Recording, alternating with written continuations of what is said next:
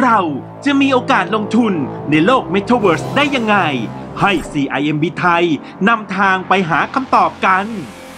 พอพูดถึง Metaverse คนส่วนใหญ่คงนึกถึงเกมก่อนเลย แต่รู้หรือเปล่าว่าจริง ๆ แล้วมันคือโลกอีกใบ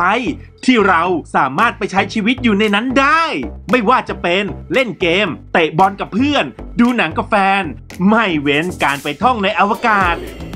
แน่นอนว่าคนที่เขาเงินหนา หรือบริษัทใหญ่ๆก็ต้องไม่พลาดโอกาสการลงทุน ในโลกแห่งอนาคตอย่าง Metaverse แต่คำถามคือ เราจะมีโอกาสลงทุนในโลก Metaverse ได้ยังไง CIMB ไทยจะพาทุกคนไปหาคำตอบกัน จริงๆ แล้วโอกาสแบบนี้ไม่จำเป็นต้องเป็นนักลงทุน ก็เข้ามาโลดแล่นในโลก Metaverse ได้ แค่ต้องหาตัวเองให้เจอว่าเป็นสายไหน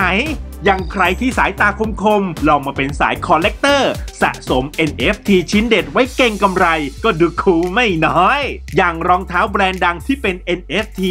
รู้ตัวอีกที ราคาอาจจะพุ่งขึ้นไปอีกหลายเท่าตัว หรือจะ turn มาเป็นนักลงทุน ซื้อขายที่ดินในโลก Metaverse เพื่อเอาไปพัฒนาเป็นโครงการอสังหา เก็บค่าเช่ากินได้ยาวๆ และสำหรับสาย creator ก็ไม่ต้องน้อยใจไป เพราะบนโลก Metaverse ยังต้องการอาชีพสาย creator หน้าใหม่อีกเพียบเลย ตั้งแต่ออกแบบเสื้อผ้ารองเท้า เครื่องประดับรวมถึงบ้านอาคารและผังเมือง ถ้าไม่รู้จะเริ่มยังไง จะลองเอาผลงานจากโลกจริง แปลงเป็นไฟล์ดิจิทัล ขายเป็น NFT ก็ยังได้เลยทีน